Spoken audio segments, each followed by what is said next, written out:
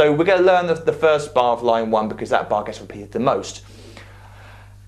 There's a bass drum and crash cymbal on beat one, and then we don't come in again till beat two of the bar with the floor tom and bass drum together, two, followed by a flam on the and two and the snare drum straight after it. So we get one, two, and Dave's right hand then goes back to the floor tom to play, excuse me, with the bass drum, three, and, and then, so that was bass and, and, and floor tom there, three, and, and then floor tom and high tom together on four. So it's like Dave's playing a backbeat uh, on the high tom instead of the snare drum on beat four. Three and four, followed by a bass drum on its own on the and of four, and then I like to do it, and so does Dave, a double crash on beat one again.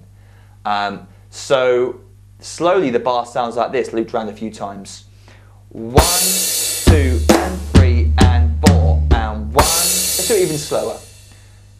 three and four and one and two and three and four and one, two and three and four and one.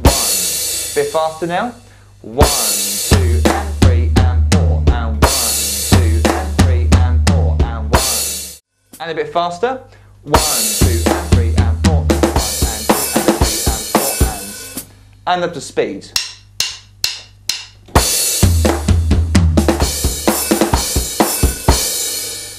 Uh, the whole of verse 2 is exactly the same as the whole of verse 1. Because it is! How wonderfully simple. Thank you, Dave.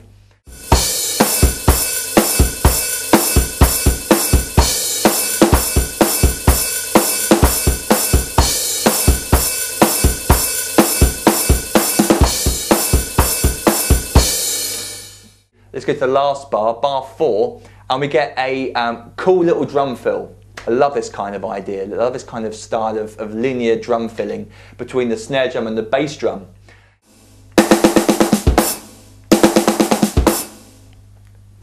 Pretty cool.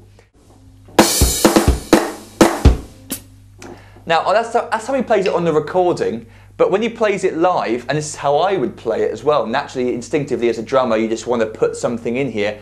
I would put a bass drum on the and a free, like Dave does when he plays it live. So you also hear it play it this way.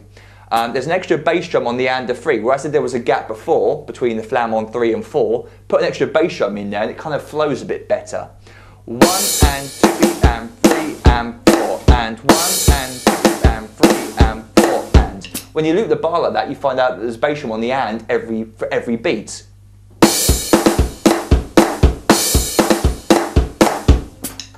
Um, David's usually very, very good at, at um, writing a drum part and keeping it the same through section to section that sounds the same. I mean, if there's something melodically or vocally going on that uh, changes, then Dave will usually change his drum parts to suit it.